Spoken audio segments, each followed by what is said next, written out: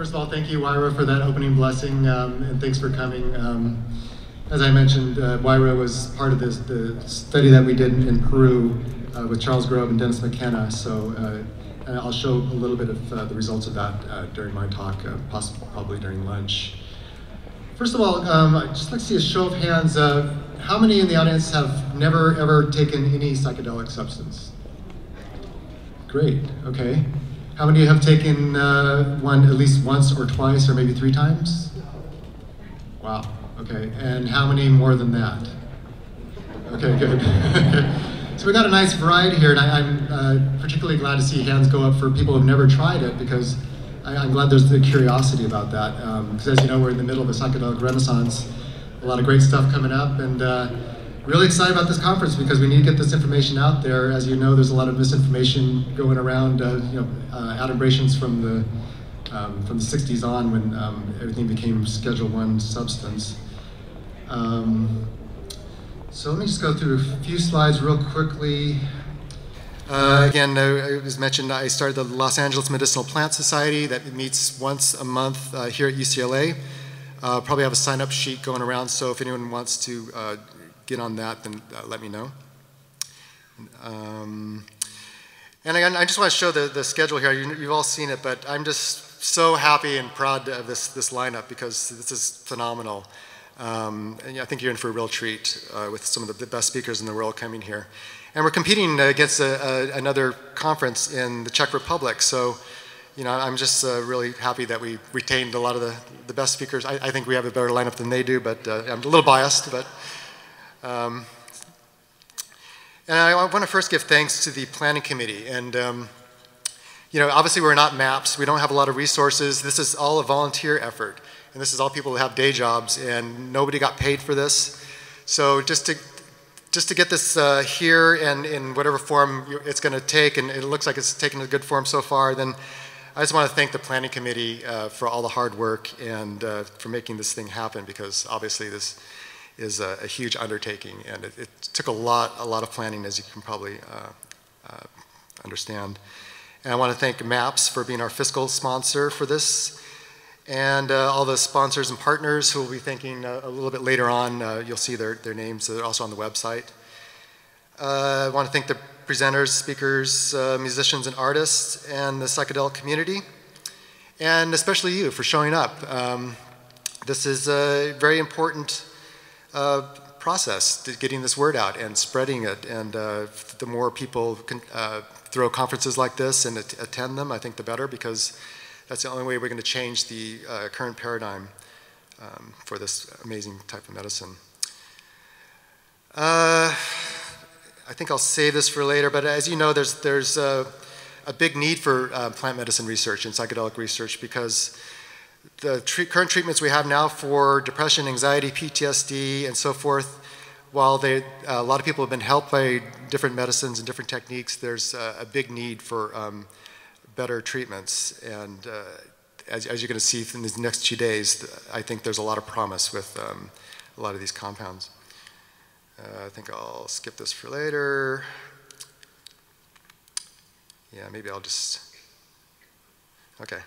I think I'll skip everything. And uh, um, so again, I'll probably, if, and if, if there's a no-show or something, I'll take up the time with, with my presentation. But I really want to get to, oh, oh okay, I got 10 minutes, I guess. Okay, good. So I guess I can fill that up. Um, let's go back. Improvise here, guys. Okay. So uh, for depression and anxiety, as you know, the, um, there's huge numbers of people suffering from depression and anxiety. And uh, I, I, just picked that because I, I, most of my background is in depression research and uh, know that um, uh, a lot of the medicines on the mar uh, market right now are a blessing for many people, save a lot of lives and stuff, but uh, it doesn't help everyone. And um, uh, up to 50% are not, are not helped by some of these medicines, and uh, the numbers are growing in terms of people suffering from these. Close to 10% of the world's population is affected, and mental disorders account for 30% of the global uh, non-fatal disease burden. Number one cause of absenteeism in the workplace. 15% of patients with depression commit suicide. Many patients, uh, up to half in some estimates, do not respond to antidepressants. 20% don't get response to any treatment. And, uh, and that's just depression and anxiety. There's uh, addictions, PTSD, and the whole um, panoply of different uh, ailments that uh, there's a lot of wonderful promise in terms of this, this, these types of compounds. Uh, real quickly, um, I think most of you probably heard of all these terms, but in case you haven't, um, psychedelics uh, means mind manifesting, mind revealing, and that's the, the term we used for this because most people know that, that term and, and uh, are familiar with it. Hallucinogens is kind of uh, an old term that you know, generating hallucinogen, hallucinations or you know, things that aren't, aren't real. And so that was dropped in favor of psychedelics. Now entheogens is, is a new term um, that's making the rounds. And, and is everyone here heard about entheogens? Do you know what it means? Okay, well, so it's uh, generating God within, a divinity within. So it's kind of like the new term um, highlighting the fact that these compounds can um, be great for not just depression, anxiety, for, for spiritual growth and uh, generate mystical experiences and change people's lives that way. And you're going to see uh, several speakers talk about the mystical experience um, for uh, psilocybin, for um, uh, ayahuasca, iboga, and so forth. So, and uh, just these are just some of the, the entheogens or psychedelics that we're going to be covering today. Uh, this is a sheet of LSD, MDMA, we're going to have a panel specifically on that and uh, another speaker talking about um, some of the wonderful MDMA research going on. Uh, peyote, unfortunately we didn't get any speakers for peyote. Um, hoping to rectify that next time. There's not a lot, uh, it's kind of not as much research on that, but um, there needs to be a lot more because it's another one of the, the great uh, entheogens. This is Iboga, where we have a, a panel. Um, people, uh, some people are going to talk about um, Ibogaine Iboga research, ayahuasca. Um, again, we have a panel on that, and uh, Dennis McKenna is going to be talking about uh, his experience over the last 45 years with ayahuasca, which is going to be excellent. Uh, cannabis, which isn't um, typically considered as psychedelic or hallucinogen or entheogen, but um, as many of you know, if taken a, a large enough edible dose, uh, it can get you there. Um, and there's a lot of great research. We have Sue Sisley sitting front here who's going to be talking about the wonderful research with cannabis. And just let you know, I think uh, October, uh, we're having CanMed here at UCLA too. So uh, it's going to be at the Luskin, which is, um, I think, that way. So if you're interested in that, uh, check that out. Ketamine, uh, a lot of fascinating research with ketamine, so we have a speaker on that. Uh, DMT, this is, I believe, NN-DMT, but we have a whole panel on 5-MeO-DMT, which is going to be uh, very exciting tomorrow. Uh, this is the Sonoran Desert toad, uh, uh, one of the only animal source of DMT. Um, I believe that's true, right? 5-MeO-DMT. And uh, psilocybin mushrooms, which is really making the, the, rounds now in terms of research from Johns Hopkins, NYU, and so forth um, and which started actually at Harbor-UCLA with uh, Charles Grob's research um, with people um, with stage four cancer. So great stuff coming up, and it's going to be really exciting. Uh, how much more time? Five minutes, uh, four minutes, okay. So as you know, uh, most of you probably know, all these substances, including cannabis, are Schedule One controlled substances. And for those of you who don't know what that is, it, they're deemed as uh, having a high potential for abuse, no currently accepted medical use in treatment in the US, lack of accepted safety for use, uh, use of the drug or substance under medical supervision. And just uh, as a little fun fact, uh, heroin and bath salts are also on Schedule 1, uh, bath salts not being Epsom salts, but the, the bad street drug.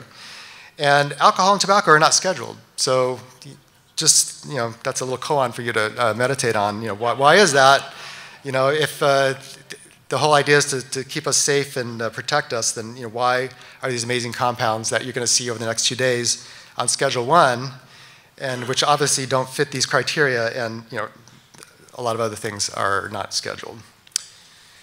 And this is kind of a, this is in your schedule also. Uh, I, I, love this chart because this was um, created by Professor David Nutt over in, uh, I, be, I believe is in London.